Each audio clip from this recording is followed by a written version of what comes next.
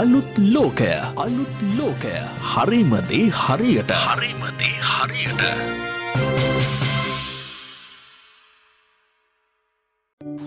අවිබෝවන්න යාළුවනේ. දවසින් දවස ලංකාවේ වැඩිවෙමින් ලංකාවේ මිනිස්සුන්ට එපා කරන අපූරු කතාවක් ගැන තමයි අද අපි කතා කරන්න සූදානම් වෙන්නේ. බුදුන් වැඩිය දේශයක සාඩම්බර පුරවැසිය වූ අපිම වත්මන් සමාජයට හූල්ලමින් ඉන්නවා.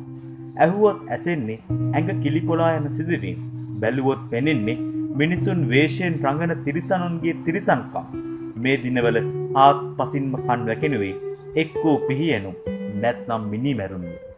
මිනිසෙකුට සහජයෙන්ම ඔදුම වන බුද්ධීය පෝෂණය වී වැඩෙන්න්නට නම් යහපත් සමාජයක් තිබිය යුතුමයි. ඒත් දැන් දැන් නැත්තේත් ඒකමයි. දිනෙක මගේ ඔබගේ දරුවාද හුස්ම ගන්නේ මෙවන් පරිසරයක සිටයි. අපේ දරුවන්ට පමණක් වෙනම දේශයක් නොමැත. ඔවුන්ද හැදී වැඩෙන්නේ මේ පොළවේම බවයි ඔබ අප මතක තබාගත යුත්තේ. මාතර මෙන්ම ඉකුත් දින කිහිපය තුළ සිදු වූ සිද්ධීන් හෙළි කරන්නේ ඔබේ අපේ අනාගතයක පෙරනිමිති නොවේද.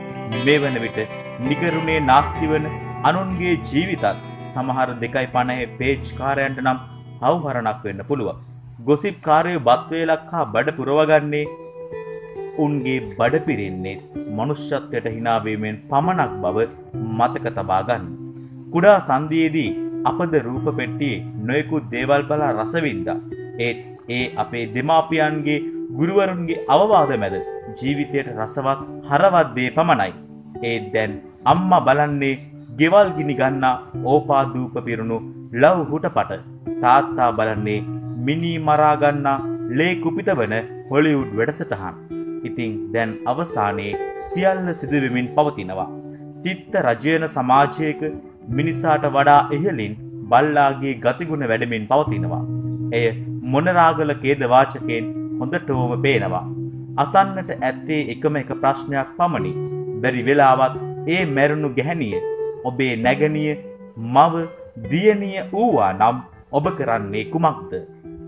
මැරුණු පසු මැරුණු එකාගේ මරපු එකාගේ අතීතය හාරා අවුස්සමින් තවත් ලේ කුපිත කරමින් කෑගහන උන්නම් මිනිසුන් විය නොහැකි.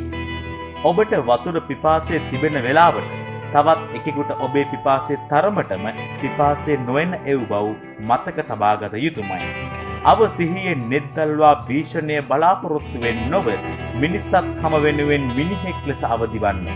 අන්න එදාට සමාජය යහපත් වන නොඅනුමානයි.